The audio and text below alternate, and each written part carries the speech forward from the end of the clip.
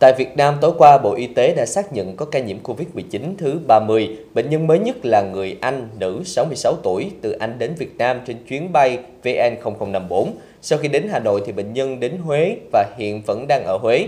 Như vậy, đây là bệnh nhân thứ 11 từ chuyến bay VN0054. Tính đến nay đã có 9 tỉnh thành ghi nhận bệnh nhân. Hiện nhiều biện pháp quyết liệt tại các vùng có dịch đã được triển khai.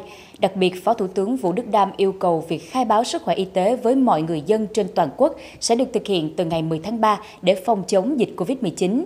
Hiện Việt Nam đã thực hiện khai báo y tế bắt buộc với mọi người nhập cảnh vào Việt Nam. Hốt hoảng ném đá tin giả tất cả không giúp ích được gì cho công tác phòng chống dịch bệnh COVID-19.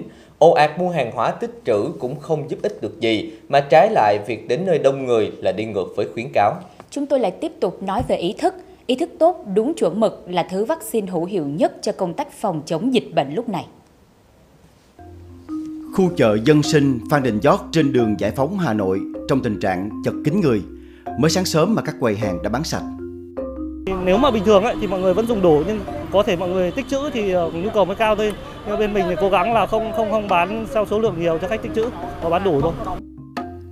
Siêu thị này trong khu chung cư cao cấp nhộn nhịp như vào dịp lễ Tết, sức mua tăng gấp từ 2 lần đến 3 lần so với vài ngày trước.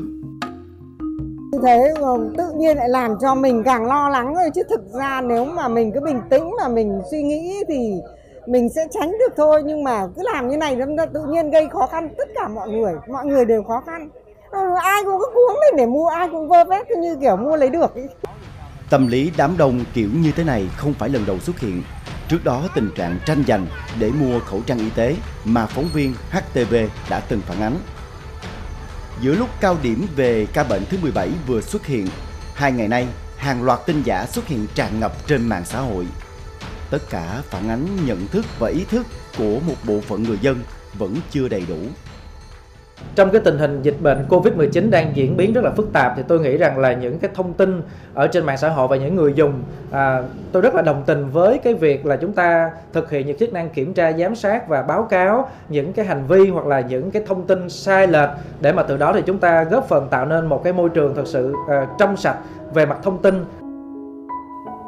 Một chiều ngược lại, cũng vì đi cùng chuyến bay với ca bệnh thứ 17, đôi bạn trẻ này đã chấp nhận hoãn ngày tổ chức lễ cưới để cách ly đúng quy định.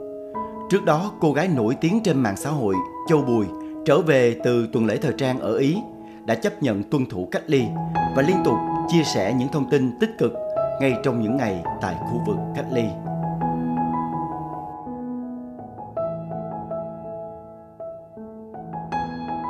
Ờ, trong trước những cái trường hợp dịch bệnh này thì cũng ờ, khuyên cũng Ờ, xin người dân cũng đừng hoang mang và phải ờ, tin vào cái hệ thống ờ, y tế cũng như là khả năng điều trị và kiểm soát về bệnh tật của ngành y tế của chúng ta nói chung.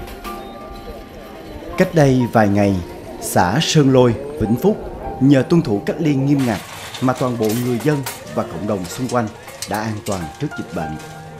Rõ ràng, nền y tế dù tiên tiến đến mấy, pháp luật dù chặt chẽ đến đâu, mọi thành quả đều sẽ đổ vỡ nếu thiếu đi ý thức và sự hợp tác từ người dân.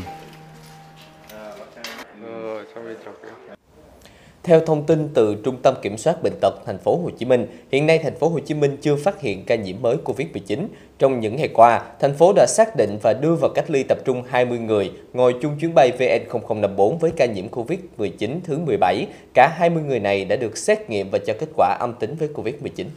Trước diễn biến phức tạp do sự lây lan nhanh của dịch bệnh COVID-19 tại Việt Nam và trên toàn cầu, ngày 8 tháng 3, đoàn công tác của Bộ Y tế đã kiểm tra làm việc với các cơ sở y tế tư nhân tại thành phố Hồ Chí Minh để chuẩn bị sẵn sàng cho việc tham gia công tác phòng chống dịch COVID-19 của các bệnh viện tư.